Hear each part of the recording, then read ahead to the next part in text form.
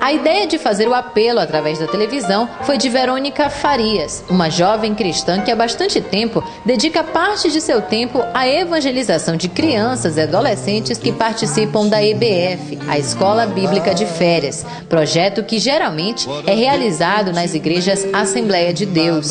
Com o objetivo de evangelizar os pequenos, Verônica e vários outros jovens fazem parte do projeto que será realizado no próximo mês. Mas para que a EBF venha a acontecer, essa turma está precisando de ajuda. A nossa equipe de reportagens veio na tarde desta terça-feira em uma área periférica do município, no bairro da Vila Sinhá, uma área conhecida como Cajual. A gente veio precisamente à igreja conhecida como Poço de Jacó, onde aqui um grupo de jovens se reúne todos os anos para realizar um projeto muito bonito que tem como missão evangelizar as crianças. Eu vou conversar agora com a pessoa que está à frente do projeto, a Verônica Farias. A Verônica coordena a Escola Bíblica de Férias este ano. Mas para que vocês realizem este bonito projeto, não é isso, Verônica? Vocês precisam, na verdade, estão precisando de apoio. É isso mesmo? Exatamente, nós estamos precisando de balões, de lanche, bombom, pipoca, essas coisas para ajudar as crianças, porque todo ano tem.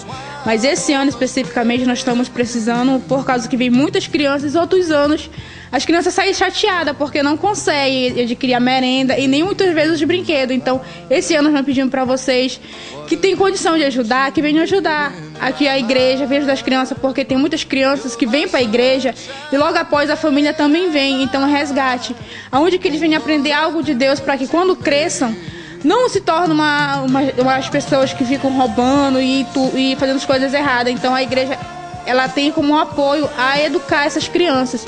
E se vocês ajudarem, vai ser uma grande ajuda e eu acredito que Deus há de abençoar ainda mais esses que ajudarem a igreja.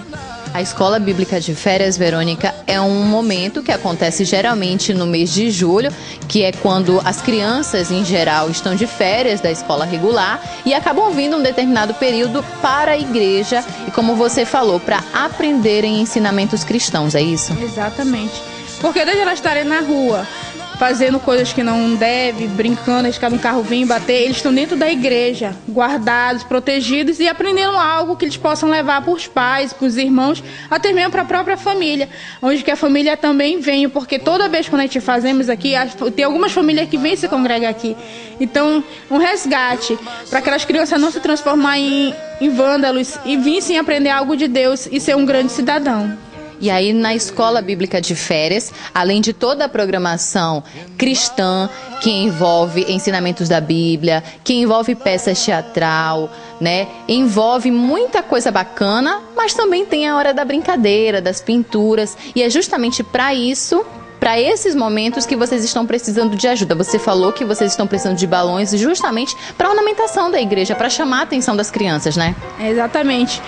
O balão é mais para chamar atenção, a merenda para eles, mas nós também precisamos de lápis de cor, de cera, para onde que elas possam também vir aprender a pintar e aprender algo do Senhor. Se vocês puderem ajudar com, com todos esses materiais ou com algum desses materiais, já é uma grande ajuda e tenho certeza que vocês vão agradar e, e vão fazer muitas crianças felizes aqui no bairro.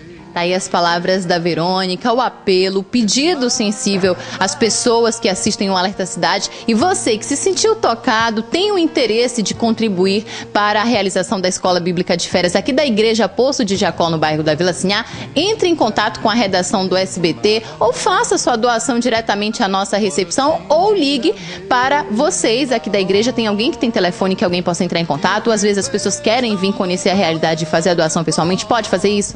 Pode, pode trazer aqui, ou então entregar na redação mesmo que a gente vai lá buscar, ou então vocês trazem e a gente fica muito feliz.